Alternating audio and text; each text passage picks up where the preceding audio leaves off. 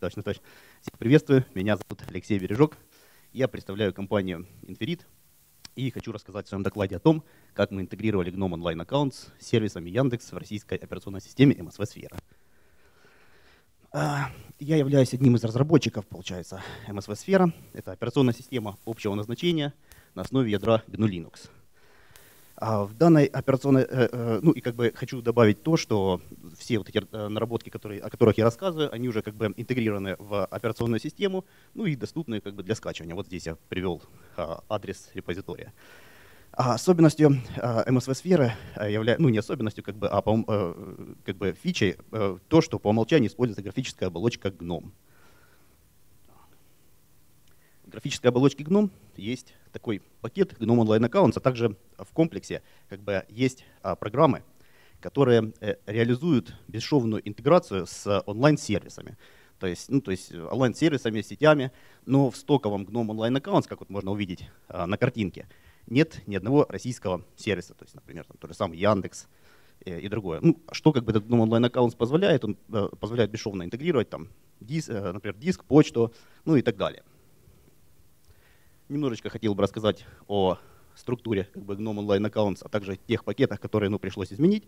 То есть э, первое это GNOME Online Accounts и GNOME Control Center. Они как бы предоставляют интерфейс, э, который позволяет э, добавить, например, онлайн-аккаунт, пройти как бы а, авторизацию, ну, то есть если это, например, какой-то а, сетевой э, интерфейс, он требует, например, получения токена, то он как бы э, дает окошко, которое позволяет как бы получить там вначале код доступа, потом токен, и потом это сохранить. Либо это может быть какой-то сервис, который требует просто логина и пароля. Потом есть программы из окружения GNOME. Это, например, Evolution, это почтовый клиент, Потом в Evolution также есть календарь, потом э, список задач, потом адресная книга. Есть, например, там программа GNOME календарь, а, э, которая ну, как бы отображает календарь. Есть там набор утилит GNOME Shell, которые тоже там могут обращаться к этому сервису. И они, получается, не запрашивая уже как бы повторно данные, ну, то есть э, конкретно для аккаунта, могут отображать ну, то есть содержимое то есть этого сервиса. Там почта, например, события и так далее. Есть, например, Nautilus, это файловый менеджер, который может отображать как бы, ну, содержимое операционной системы, а также примонтированных файловых систем. А есть пакеты, ну, я их так называю, прокси-пакеты, которые именно организуют непосредственно доступ к данным. То есть там как бы организованы все алгоритмы. Это вот Evolution Data Server и GVFS. Ну, э, через них а, получается, как бы происходит доступ, э, ну, э, они как бы ну, хранят эти ну, сведения об аккаунте, ну, точнее сказать, через них и через API, через онлайн аккаунт как бы происходит обращение к этому хранилищу аккаунтов, ну и эти программы получают, как бы отображают эти сведения. Получается, в чем удобство этого GNOME онлайн аккаунт, что все, получается, сетевые записи хранятся как бы в едином хранилище, ну и не надо для каждой записи, ну то, ну, то есть каждый раз для каждой программы как бы повторно э, делать запросы. Так, мы решили первым делом а, интегрировать GNOME онлайн аккаунт с Яндекс. А, для этого был добавлен отдельный провайдер, а, которого были описаны свойства, например, почта, календарь, файл на диске. Потом были как бы а, описаны а, точки авторизации, был описан тип провайдера, что это типа OAuth аутентификация, то есть получением токена. Были описаны все урлы, то есть все как бы параметры данного, э, данного провайдера. И данный провайдер, ну как бы все эти изменения были упакованы в пакет и запущены. И как можете увидеть, на экране появился вот Яндекс, который позволяет, вот окошко позволяет пройти э, аутентификацию, После этого появляется окошко, которое говорит, какие сервисы вам как бы интересны, то есть чтобы их интегрировать, ну, то есть в окружение пользователя. А, там, почта, календарь, файл. А, ну, как бы привел, э, показал, что данный аккаунт после того, как он был зарегистрирован, ну и добавлен, он появился в списке, то есть можно посмотреть там а, в графической утилите там ключи и пароли, что он появился, а также с помощью там утилиты команды строки, ну там из, из а, набора GNOME онлайн аккаунт можно увидеть, что вот он добавился Яндекс провайдер новый, там вот есть там параметры пользователя, точки входа и так далее. Но изменение только в онлайн аккаунт, ну как делали там запрос насчет того, что добавьте, пожалуйста, отечественные сервисы, оно как бы ну, ничего не решает, то есть он просто есть и есть, ну, то есть и на этом все, то есть аккаунт сохраняется. Нужно еще, ну, для того, чтобы было удобно в гноме этим пользоваться, доработать какие-то ну, дополнительные программы, ну, которые вот здесь вот на этом кадре я покажу. Первый шаг это был интеграция с почтой. Интеграция с почтой, ну то есть э, весь этот протокол взаимодействия, он э, как бы спрятан в Evolution Data Server пакете. А, в Evolution Data Server был также доработан, добавлен Яндекс Провайдер. Почему? Потому что при запросе от GNOME Online Accounts как бы, а, а, говорилось, что ой, это неизвестный какой-то провайдер, и с ним работать не буду. Там тоже, получается, надо, было описать, что это за тип провайдера, какая тип аутентификации э, проходит, то есть как требуется. Потом как бы потребовалось тоже указать, каким образом добавлять, если не через GNOME Online Accounts данного провайдера, а через сам интерфейс программы. И после тоже внесения этих изменений, пересборки пакета, можно увидеть, что вот он, он добавился, то есть аккаунт появился ну, в списке аккаунтов. Сейчас. Вот здесь вот. Ну и как бы содержимое, э, э, содержимое этого аккаунта почта, то есть она отображается, отправляется. Ну, единственное, как бы э, такое замечание, что в Яндексе надо сделать настроечку, что типа разрешить доступ по IMAP для того, чтобы как бы эта почта читалась. Следующий шаг это был интеграция с календарем. Календарь у Яндекса, доступ к событиям организован по протоколу а, по протоколу CalDAV. А, поэтому, опять же, в том же самом а, пакете Evolution Data Server, ну, то есть э, сдел, э, ну, как бы, проверили, то есть э, передали URL, но оно не отработало. Поэтому мы решили, как бы написали скриптет, который как бы проверил, то есть по, согласно по документации Яндекса, то есть формировался заголовок AUS с токеном, ну и как бы этот скрипт показал, что ну, способ работоспособный, то есть все как бы нормально. Были идентифицированы как бы участки кода, которые нужно поменять, то есть в Evolution Data Server там было как бы прописано bearer аутентификация, заголовок посылался типа bearer, а он был как бы, э, ну это одно из изменений, такое ключевое, то есть изменено на кастомный, чтобы можно было как бы передавать а, ключевое слово AUS, как ну как бы просит и ожидает Яндекс. И опять же все изменения были собраны, проверены. Ну и вот результат. Результат показал, что в Evolution отображается календарь, события. В Evolution отображается книга задач, ну, точнее, это список задач. А также все программы, ну, которые э, работают с GNOME Online Accounts, ну, просто GUA назову его, а с GUA также стали работать, то есть они получают списки календарей, показывают их события, а вот календарь на рабочем столе который тоже получил доступ к этим, э, ну, к этим календарям и тоже показывает эти события. Следующий шаг — это интеграция с Яндекс.Диск. Яндекс.Диск предоставляет а, два варианта доступа к данным — это WebDAV и REST API. А, ну, пакет GVFS — это именно он как бы реализует монтирование этих файловых систем в GNOME. Там было обнаружено, что есть уже как бы, реализация WebDAV, поэтому как бы было э, выбрано, что реализуем, реализуем доступ по WebDAV. Проверили, опять же, не заработало. Начали как бы проверять скриптом, то есть э, почему как бы JVFS не хочет, тут решили проверить, как бы посмотреть. Он показал, что там есть особенности с, а, авториз... ну, тоже, э, с аутентификацией также. То есть вроде как и добавлен э, заголовок ну, то есть как Яндекс как бы ожидает. Но все равно что-то не работало. Там получается такая проблема, при первом запросе возвращается ответ с заголовком www authenticate, и там слово basic присутствует, из-за чего WebDAV распознает это как basic аутентификацию и пытается ну, как бы ожидать пароля, не токен. Поэтому в скрипте было сделано, как бы, если встречается authenticate, э, кроме basic еще и Яндекс, то есть проверка, и в, этот, э, ну, в этом случае как бы э, принудительно заменялась аутентификация на тип OAuth. Также было в GVFS идентифицировано, где такое происходит. Был сделан как бы кастомный аутентификатор, ну как бы характерный для Яндекса. И также как была удалена проверка э, Basic и э, в случае для Яндекса как бы проверка ну, кастомная, характерная для Яндекса добавлена. Ну и как бы результат не заставил себя ожидать. Можно увидеть, что э, Яндекс Диск интегрировался и отображается в Наутилусе. Ну, то есть можно увидеть аккаунт яндексовский, который, ну и показывается его содержимое. Также он на рабочем столе отобразилась папочка, нажимая на которую можно попасть как бы на э, содержимое диска, ну, увидеть его. Так, следующий этап — это адресная книга. Вот здесь как бы была проблема. Вроде как добавляли ну, адрес, э, откуда можно получить эту адресную книгу, а, э, ну, Яндекс аккаунта, но никак она не отрабатывала, возвращала, что типа книг нету. Поэтому решили как бы вначале проверить базовую авторизацию, то есть в Яндексе создали приложение, получается, как бы сделали а, для него пароль, и он отработал, показал как бы список адресных книг. В случае с аутентификацией, с OAuth аутентификацией ничего такого не показывалось. Вот я пока, ой, нет, да.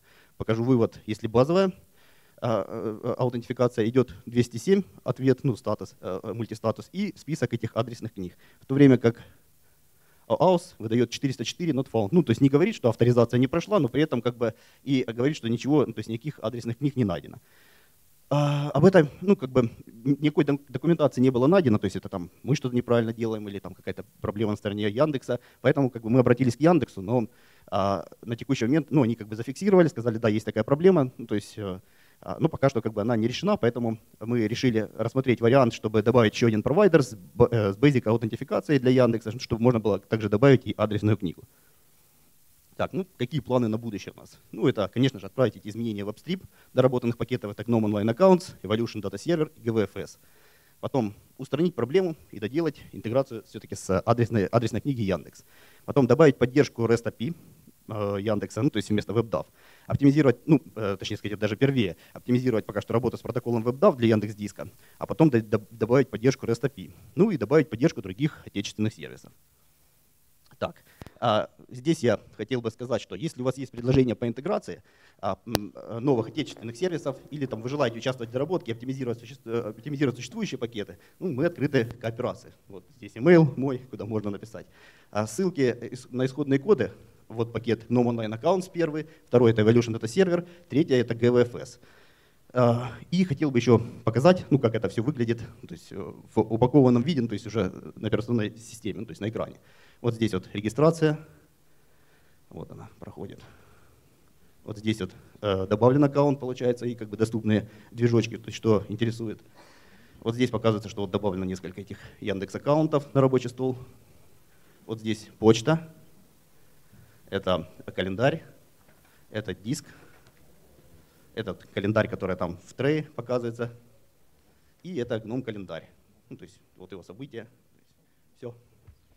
Ну, воспользуюсь тем, что у меня есть уже микрофон, задам пару вопросов. Первое. А с каков, э, какие проблемы с Яндексом вы решили, чтобы а, вот эти все сервисы попали в ваш дистрибутив? Ну, например, мы, я точно знаю, что Яндекс Погоду вот просто так нельзя. Можно отдельный пользователь может получать Яндекс Погоду, а с дистрибутива, который распространяется да, да, да. неконтролируемо, нет.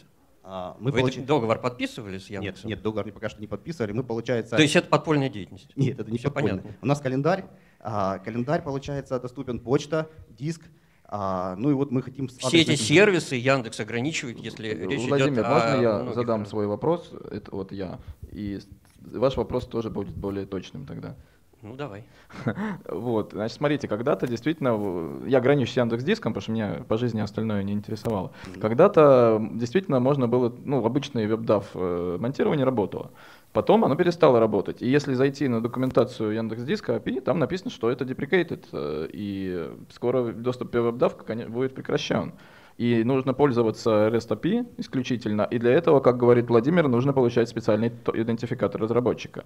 А, ну, я так понимаю, поскольку у вас он все-таки по WebDAV, вы его не получали, этот идентификатор, Владимир. То есть у них старый, э, фактически эта технология используется десятилетней давности. Единственный у меня вопрос, который я не могу понять, почему же это до сих пор работает? Если Яндекса написано, что это не работает, а, ну, и из работает, коробки это не работает. Работает, работает, работает. То есть они уже давно как бы говорят, что это deprecated, но пока что как бы оно работает, и поэтому же я сказал, что в планах там есть добавить REST API, то есть насчет этого как бы подумать, а пока что как бы добавили WebDAV, то есть как первый Вы шаг. Вы уверены, что завтра это не прекратится? То есть как-то... Ну, уверенным быть во, во всем нельзя, завтра может быть что угодно. То есть, да. то есть вам придется все-таки договариваться с Яндексом. А, у, меня еще был, у меня еще был второй вопрос. Mm-hmm. Вообще говоря, МСВ — это мобильная система вооруженных сил. Простите, а им или, или у вас статус этой оси поменялся, или зачем военным, простите, через а, публичные сервисы аутентификации идентифицироваться.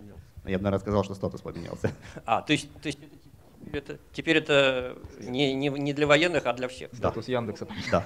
Так, вопрос все-таки я задам, да, можно? Значит, во-первых, э, спасибо за доклад, очень интересно. И идея о том, что можно было бы интегрировать операционную систему с службами внешними, вот я здесь не согласен, не согласен с коллегами, что они вас критикуют, э, потому что большинство API а, здесь открытое, и, ну, как бы, наверное, вот, логика о том, как бы чего не вышло, она вот как бы я наблюдаю ее вот еще раз, да, она причем навязывается своими же коллегами. И даже останавливает, потому что все ну, думают, как не вот вышло.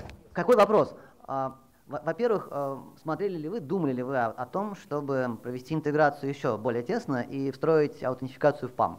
Чтобы, вообще говоря, во время логина угу. а, при вводе, ну как бы, собственно, Microsoft паспорт, да, только через угу, Яндекс. Угу. Я думаю, им было бы интересна эта история. И ради этого они, возможно, вернули бы старый интерфейс какой-нибудь там. Ну, именно возможно, с Яндексом, да? именно с Яндексом или какого-то там, например, ну, другого Нет, сервиса? в данном случае Яндекса, вы, у вас уже большая часть ну, готова. На... А, э, это как бы первый момент. И второй момент, смотрели ли вы на ну, такой прям сразу крамольный возникает запрос а, на госуслуги? Ну, с госуслугами еще пока что не смотрели. Решили как бы первое взять для затравки Яндекс. Там у них получается как бы ну, описан есть протокол EcoHouse, то есть его а дальнейшее, как бы, ну, дальнейшее развитие, ну, на этом не собираемся останавливаться. И как раз дальнейшее развитие, то есть если будут предложения, то есть будут запросы, мы как бы будем их формировать. Один вопрос вот, с точки зрения взаимодействия. Вот вы назвали свой email, а да. а есть ли у вас, у вашего проекта какого-то подхода, а, там, публичная как бы инструменты взаимодействия, там рассылка какой-то там способ, вот а вы сами Это будет, будет, будет, у нас просто сейчас это формируется. А как мы про это узнаем? Э, вот это такой непростой вопрос. Сейчас. Алло? Возможно, да, на следующей конференции. А, отвечает Леонид Канцер или кто там? Евгений, Евгений отвечает. Да, здравствуйте, Евгений Замри, главный архитектор, собственно, проекта МСВ Сфера. А, скоро все будет. То есть пока проект в статусе пререлиз. Вот. И не было еще официального анонса, не было, а, собственно, выпуска публичного сайта. И все эти активности сейчас ну, такой активной фазе, да, а, и скоро все будет. То есть будет анонс, будут э, списки рассылки, будет публичный нормальный гид, с которым можно работать. Поэтому э, следите за новостями, я думаю, об этом непременно напишут. На Хабре, на различных ресурсах, то есть уже как бы готовится все. Вы мобильная система вооруженных сил или вот у вас домен там Infernal OS какой-то, дьявольская ОС?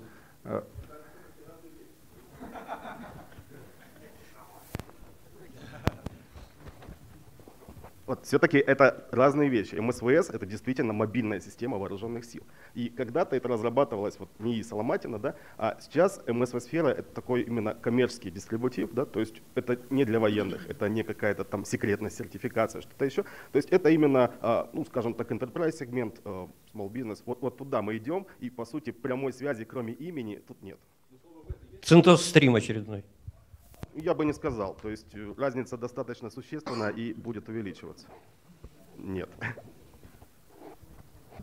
А, а скажите, а, скажите, а вы э, э, готовы включать другие произвольные SaaS-сервисы, интегрироваться? В принципе, да. Ага, тогда есть... можно с вами будет переговорить? Да, да. Спасибо. Стас, я на самом деле ваш вопрос хотел, ваш комментарий прокомментировать. Вот. Э, вы сказали, что что это, да, как опять нагнетается, да, что как бы что ни случилось, но... Э, ну, когда тут, понимаете, госуслуги уже предлагают на первом экране залогиниться, так это... Тут, и тут сразу э, повестку вы получаете, там на сразу... самом деле у меня... Доставить не успели, а уже получили. И ну, закрыть пытаешься, но вот он не закрывается. Да, да. И, но там же можно добавить фильтр. Было даже чуть-чуть о другом, да, что, в принципе, свободное программное обеспечение, насколько я вот его чувствую, предполагает, что мы пользуемся надежными и независимыми, ну хотя бы интерфейсами. Понятно, что иногда хочется получить там доступ к проприетарной услуге, но не на таком основании, что они объявили deprecated, да, и, э, и а мы просто надеемся, что оно никуда не исчезнет. То есть должен быть некий договор между сообществом и вот этим Гуглом. Э, и мы, Яндексом. Да, и мы, К сожалению, они не работают никак. Вот кладбище Google проектов мы все знаем, никак сообщество не могло не поменять, что вот, их там хранили. Если и Яндексом бы, тоже. вот это облако вообще не идет на контакт и на, не заключает какой-то договор хотя бы так, джентльменское соглашение, то, конечно, не Я знаю людей, которые в Яндекс устроили, чтобы починить баги, не смогли в этих проектах. Вот. То есть у меня комментарий был больше об, об этом, а не о том, что кто же знает, что случится. Ну, одно из, мне кажется, особенностей свобод... движения за свободное программное обеспечение, это именно еще и э, надежность для пользователей. Ну, свободы в Яндексе там не так много, да. Угу. Вот. Ресурс есть, стоки есть. А, хороший контент есть. Нет, но, но тут одно как бы надежность, а другое, например, это если кто-то этим пользуется, то оно должно быть доступно, то есть для него. То есть мне, например, если не нужен Яндекс Диск по веб протоколу, я просто отключу его слайдером, и как бы он мне не нужен, почта есть. То есть если Яндекс поменяет как бы условия, ну, свободное ПО на такое, что Постоянно там с Яндекс Диском, там, то есть с Вебдамом, там известно, что он просто, э, когда начали все больше и больше пользоваться, он там начал сильно деградировать по перформансу. Людей, которые могут его починить, э, то ли нет, то ли уволились, то ли умерли, то ли еще чего-то, им это неинтересно. Вот и все. То есть не то, чтобы они злобствуют, но вот просто э, собрались продукты и сказали там, ну нахер, вот и, и все, привет. Оно пока еще работает, потому что не отключили, ну нет. Для этого тоже надо решение принять, а это какие-то ресурсы ментальные, которые надо тратить. А нахрена тратить? Ну, совсем будет э, какой-то вонь, типа, что у вас там плохо работает, а скажут, ну, мы это уже два года не гарантировали, отключаем полностью. Не будете вонять, можно потихоньку пользоваться. Особенно если никому не говорить, что такая штука есть. Никому не говорить. Фактически, мне кажется, что переросло реверс инжиниринг.